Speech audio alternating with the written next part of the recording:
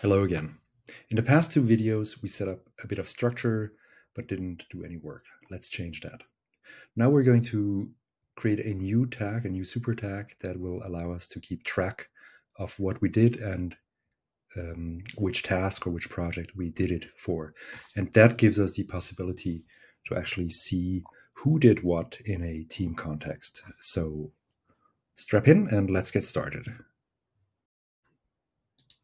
So I'm going to create a new tag now that I call work log. And it's basically a tag that allows me to record what kind of work me or my teammates have been doing. So I recorded TFT01 video that is part of my work log that I'm going to create here. The work log tag, again, is very simple. It will contain a start time. It will contain a end time. And it will reference task that I worked on. So it's going to be an not an instance of task because I don't want to have every task that I ever did, but a dynamic options I'm going to find nodes with the tag task that are not done yet as list. Three videos, and uh, as soon as the tasks get marked done, they will move out of here. So go back, and I want to build the title from fields because I want to record both what I did and when I did it in the title. So I'm going to start off with the name of the task. So we'll record TFT1 video, and then I'm going to add the start time to the, let's do a high, uh, em dash to the end time here. So that's it. And when we open that and say we worked on this from 1900 1920, we see that in the um, tagline here. And here I can select that from the task. So that is um, the work log. And now I can just start creating more of these work logs. We'll see that in a minute. So I have added another um, work log here. And if I go on, I can create more and more work logs. Now, wouldn't it be nice if if I hit return in this work log node, then I automatically get the uh, new entry tagged as work log. And of course, we can do that. Uh, we go into the configuration of this node here, configure node, and the child super tag for this node is the work log entry. That if I now hit return, I get a new entry recorded TFT03 video, expand the node. Um, I started about 1900. It's 1935 right now, and it's in the uh, team video task. Righto. Now, this is something that actually would make sense to have in the day tag configuration. So let's go into day tag, configure that, and I'm going to drag this node over here with all the three nodes here. Now these three nodes obviously don't belong here. So let's mark them and move them to um, today. So there they are, and I can delete those references. right, closing that. Now going to the next day, I have work log here. And if I expand work log, create a new entry, I get a work log here. So I'm ready to now kind of like journaling style enter the work that I'm doing day by day. And uh, you might be wondering how you noticed who did what. Um, we'll, we'll come to that in a second. So in the next step, I want to link the work logs and the tasks so that I can see in a task what um, kind of things have been done for it. So I'm going to open my task uh, configuration. I'm going to add a search node that is looking for work log items. We run that so we see the get the list. Uh, I'm going to change that to table format, get rid of these columns here because we see all have all the information. Um, and I'm saving this and then I'm looking for the task field. The task is the parent. So the, the task belongs to that create Tana team video in this specific instance. Click done, save this for everyone, and close this. And if we now go into the task node, open the node here, we see the, the we recorded the TFT01 video. And of course, I forgot to rename the search node. Um, so let's go into that configuration node, change the name here, work log, close that. Now, how do we get the update to show up? Very easy. You click on right click on the node itself, delete it, and it will repopulate because it comes from the template. And here we are. Before we move on, I want to expand the work log configuration of the super tag to include two more fields.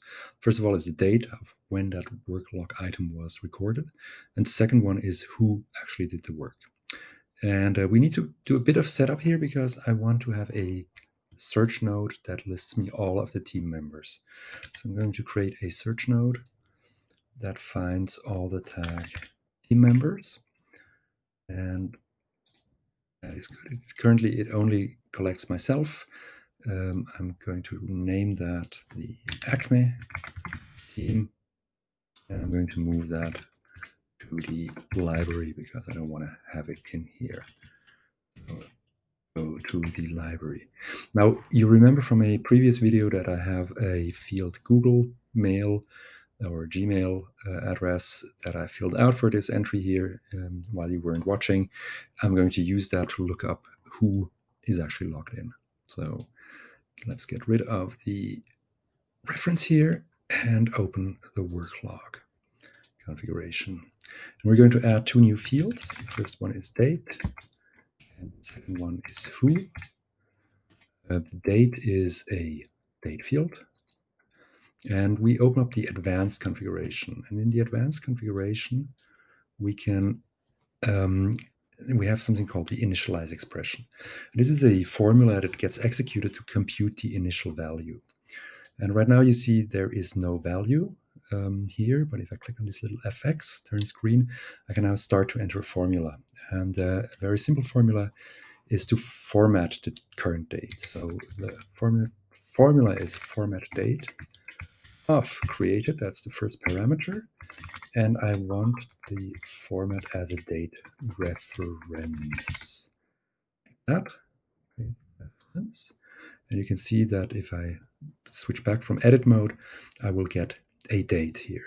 And uh, let's see if that works. If I create a new work log item here, open that up, the date is pre-filled with today's date.